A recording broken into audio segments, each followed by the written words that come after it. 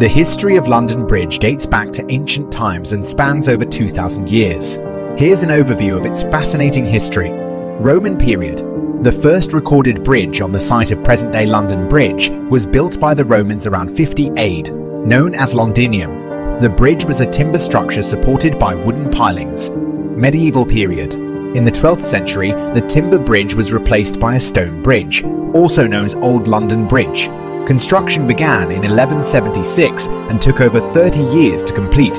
It had 19 arches and was a significant engineering achievement of the time. Buildings, shops and houses were built along the bridge, creating a bustling commercial centre.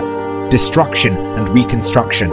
Over the centuries, the bridge faced numerous challenges, including fires and collapsing arches. In 1281, a great fire destroyed several buildings on the bridge. It was rebuilt and expanded with additional shops and houses. The Heads on London Bridge.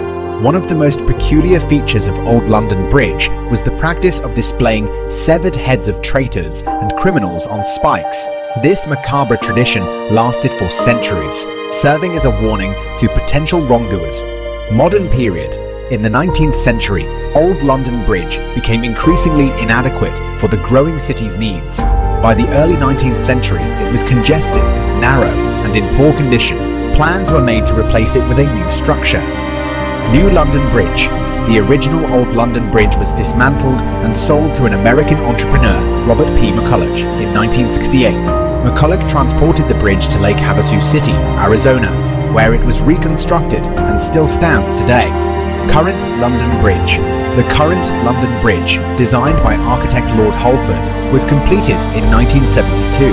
It is a simple, modern structure made of concrete and steel. The bridge is plain compared to its ornate predecessor, but provides a functional crossing for pedestrians and vehicles.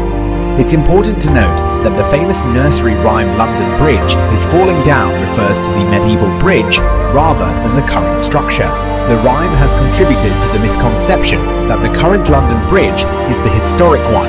Today, London Bridge serves as a vital transportation route and an iconic symbol of the city's history